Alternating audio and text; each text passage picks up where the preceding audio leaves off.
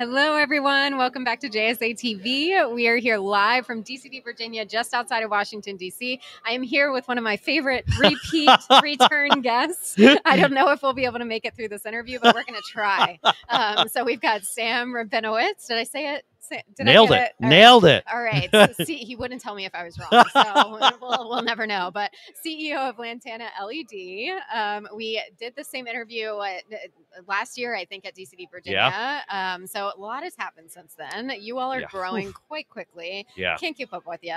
So maybe you can give us a little update. We're going to talk a bit about value engineering today. So I'm just going to dive right into it uh, to to make sure that we get through this. To get we're we're here. We're going to make it through. Okay, so a new topic you you've addressed recently is value engineering. So can you just first of all like lay lay that that down a little bit what is what is it sure explain it a little bit for our audience sure uh, value engineering as as many of you know but for those of you who don't need a refresher value engineering is the natural and and sometimes frequent process of examining a design, the, the best intentions of a design, and then identifying where there can be, you know, where where cost can be taken out of that design. So we're looking at the at the overall intent, making sure that quality stays the same, but then also examining how can we deliver this in a more cost-effective basis.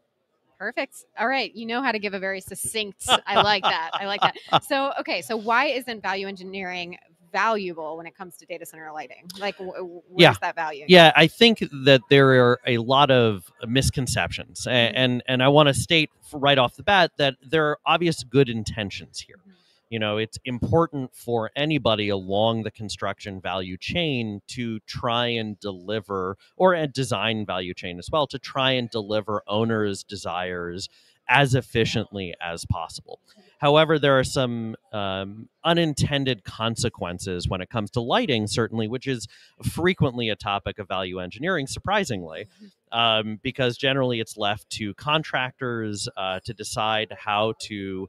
Uh, how to deliver these projects and how to deliver a certain lumen output and a certain light level that are required by code that are required by engineers and that are also required by design standards within a data center owner's uh, footprint in the data center itself.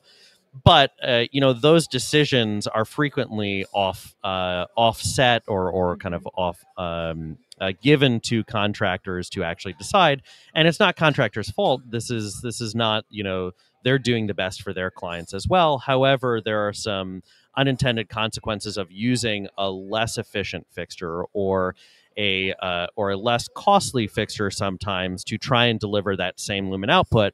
And frequently, what that results in is a contractor looking at this and saying, "Hey, we're going to give you a lower upfront cost," but then not thinking about the total cost of ownership to the actual owner itself.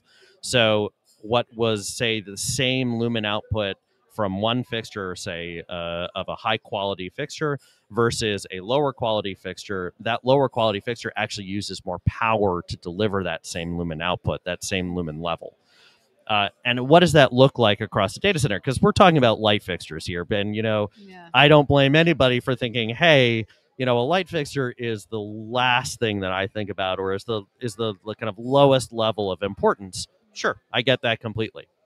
But let me put it into perspective which is the following that let's say a single light fixture, and, and we've done some analyses here for customers of ours, a single light fixture, you know, one of our fixtures could potentially have a 3.6 to 5 watt single watt difference. You know, the, we're not talking kilowatts yet, but we'll get there. Mm-hmm. Uh, 3.5, 3.6 to 5 watt difference. Okay, so that's one fixture. But then there's the snowball effect. So let's call it an average 200,000 square foot data center, a 40 megawatt data center, a 36 to 40 megawatt data center, that can have as many as 3,000 fixtures in it. Hmm. So now let's start talking about that five watt difference again. And suddenly we're talking about 15 kilowatts of power right up front. Now let's look at that across the total power consumption of a year's worth of power and energy in a data center. And suddenly we're thinking about you know, six, eight, 16 megawatt hours wow. of energy that is spent on extra on lighting because of this value engineering that was done up front not thinking about the total cost of ownership, not thinking about sustainability, just thinking about upfront cost and not examining really what happens at the end of this for the owner when they have to pay the lighting bill, when they have to look at their PUE and say, wow, why is lighting a disproportionately large part of? Right. Yeah, that's a really thank you for explaining that so well. Um, yeah, very important actually. When Yeah. you put it into numbers like that to look at the data center lighting from the Yeah. from the onset, right? Yeah. Um, okay, perfect. So, uh, what do you think d- data center operators should prioritize when it comes to thinking about their lighting? You know, as opposed to value engineering, we import we really recommend prioritizing value of product as well as quality of product. You know, ensuring that it's not just, you know, a light fixture that can do the job, it's a light fixture that will actually help your bottom line when it comes to sustainability initiatives, when it comes to uh, energy consumption in the data center itself.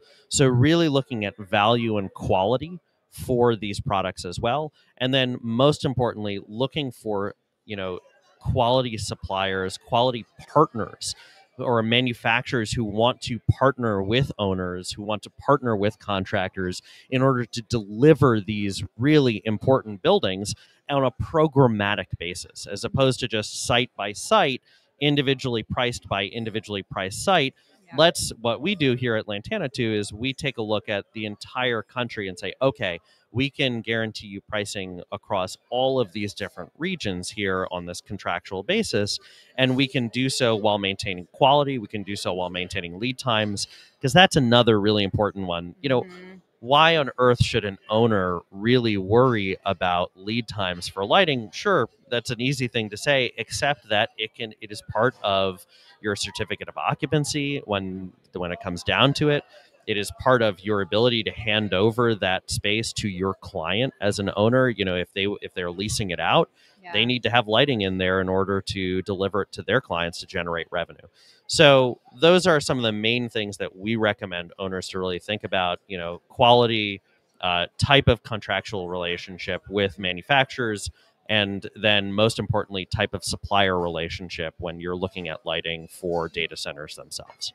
Awesome. Well, thank you so much. It's always a pleasure having you on JSA TV. Thank Thanks you. for joining us again. and thank you to our viewers back at home for hanging out with us here live from DCD, Virginia. Sam from Lantana LED. I'm Candace Sipos signing out. Well, not really. We have a few more interviews. So hang out with us.